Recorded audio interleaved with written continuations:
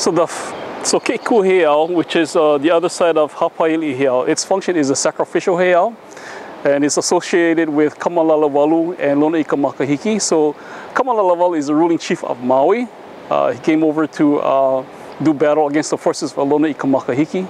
Lona Ika Makahiki is the ruling chief uh, during the time of uh, year about 1650, about that time frame. And Ke'iku is also associated with uh, Kalaunuiohua, uh, probably in the early 1400s.